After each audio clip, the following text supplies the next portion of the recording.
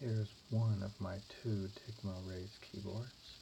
I'll have another one coming in. For now, you can ignore this keyboard functionality. It's an old Mistel Barocco.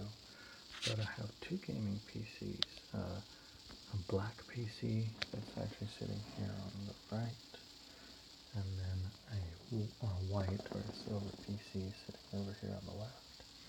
And they're controlled behind a USB switch uh, says that this right PC, the black one, is the primary, so that means the other PC is the secondary, and then this guy is themed to be red, and when I press this button, the software will detect the keyboard, the presence of the Dygma, and will make its color go white.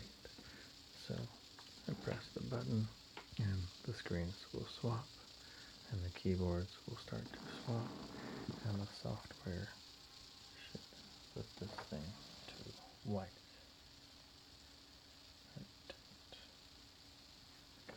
yeah, Windows is having a hard time seeing the device.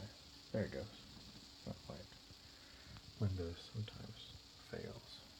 Um, yeah, so then theoretically, when I switch back, once I get two of these, um, once I get the second one, then the system, the software can be symmetric. Right now, there's no way to get this software to control the keyboard is not connected to.